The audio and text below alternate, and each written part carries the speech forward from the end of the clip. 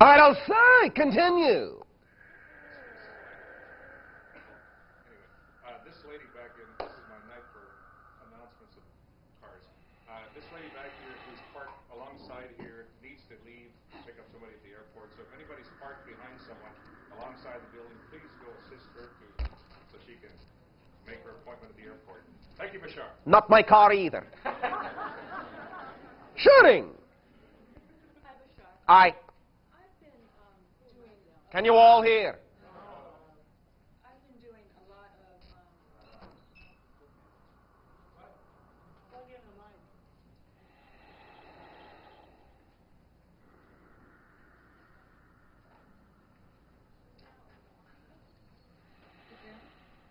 Talk loud. Be bold. I've been having a lot of negative fantasies in my life. All discovered that I enjoy these fantasies. Yes. And a part of me is thinking, well, this is really a waste of time, and you had better stop this immediately. And All the other right. part is going, well, you better go ahead and enjoy them so that you can stop. And I'm really confused with this idea because I don't want to have this negative future, but I've discovered that a part of me does enjoy these fantasies. All right. The idea does not mean that what you are aware of within yourself has to manifest. And in particular, if you allow yourself to peruse them as they come naturally, you will then get out of them what you wish to apply positively, while at the same time you will still be aware of the polarity of positive and negative that can occur within you. But it will stay within you and will not, in that sense, need to manifest if you will allow it to be there when it needs to be there and get out of it what you wish. You can still learn from it and apply it in a positive way. You understand? Just because you are aware of it doesn't mean you have to manifest it. In fact, paradoxically, the more integrated you become, the more aware you also become of all the negativity you could manifest. That's a part of what integration is all about. More awareness of more of yourself, all of yourself. And that has to include the positive and the negative side. But just because you are more aware of it doesn't mean that it must manifest. In fact, just the opposite. The more aware of it you are, the more you know what you actually prefer to manifest, and what you do not prefer can remain in what you call a fantasy state. Understand? Yes, no, maybe. Yes, uh, but. Yes, but what? Yes, but, but. Um, I'm wondering, if you're still enjoying it, then aren't you going to start creating it? In what sense are you enjoying it? What are you enjoying out of it? Are you enjoying simply certain experiences and expressions that you can create in what you call the non-physical sense that you can then apply to the physical world? For if you are enjoying it that way, again, if you get your enjoyment in the non-physical sense, it may not have to manifest in the physical. It still takes an overwhelming desire in that sense to really bring something into manifestation or an overwhelming fear. If it is simply, in your terms, an enjoyment that is on the level of what you call an amusement, an extrapolation in that way, you may simply not be giving it enough energy to manifest fully as a physical reality. You understand? Yes, no, maybe. I'm trying to think about it, what it, what it is that you said. Can you describe what it is you enjoy about it?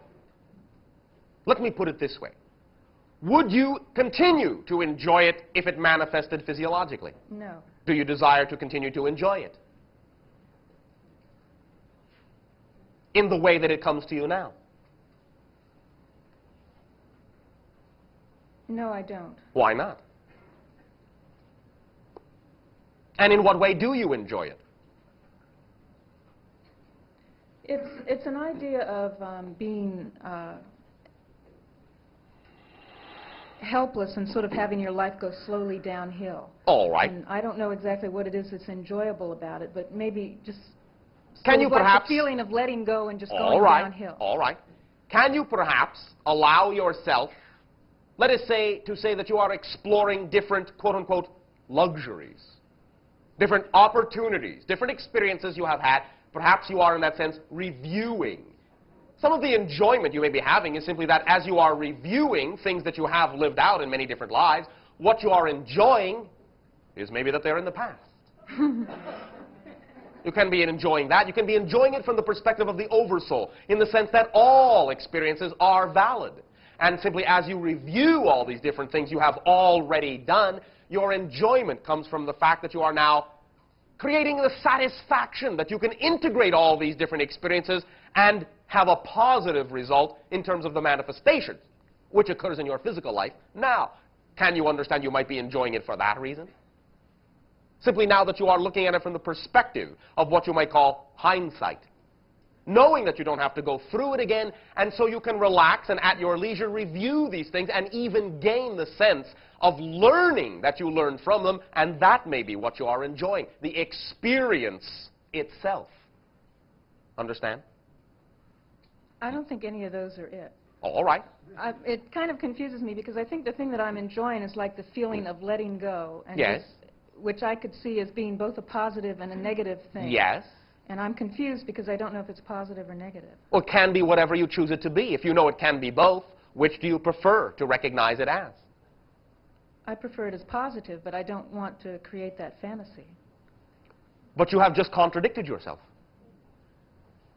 If you understand that the sensation that you are experiencing in the fantasy can be viewed as a neutral idea and manifested either as a positive or a negative, and if you prefer the positive, then no matter whether it comes to you in your imagination as a negative to at least put you in touch with the feeling, if you simply prefer that it will manifest in physical reality as a positive, then that's the only way it will manifest.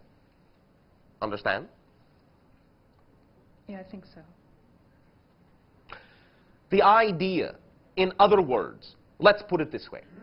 You are creating a version of the idea, having your cake and eating it too. You are now able to create both sides and learn from both and, in a sense, enjoy both the positive and the negative, but you simply, quote unquote, wisely choose to keep the negative manifestation in the non-physical side of your reality and the positive manifestation on the physical side. So you can enjoy them both because you allow them to manifest where to you they are safe. Understand? Yes. So enjoying them where they are does not mean that they will manifest. In that sense, it means that they won't because you have found the place in which you can enjoy them safely. Yes. Thank you. Understand? Yes. Does that help you? Yes, thank you. Well, thank you very much.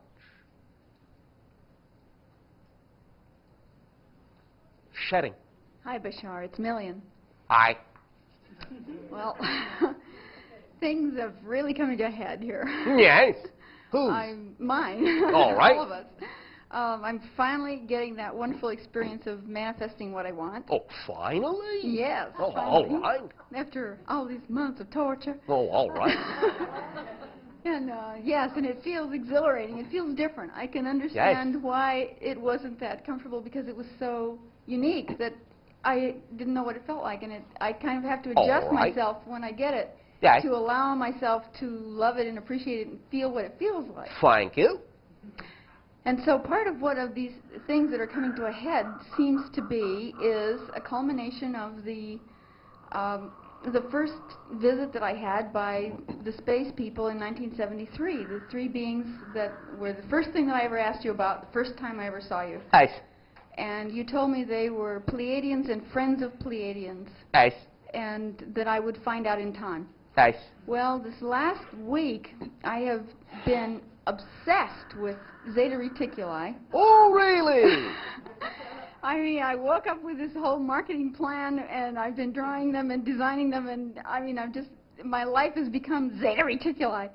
And so right. I thought, well, that's exciting. And Yes. somewhere around the same time when I had the visit by the three beings, I also had one of those straight scars on the abdomen that I had no idea where it came from, and then I conveniently forgot about it for 15 years until I read Whitley Strieber's book.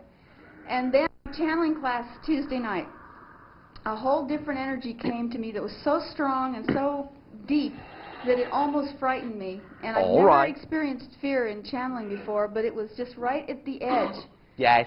And there was dialogue going on just inside my head, not speaking or vocalizing. This was not vocal at all. Understand? And I asked, I said, "Is this? Are you Zeta?" And they said, uh, "Something like Zeta." Yes. Something like it. Your version of it.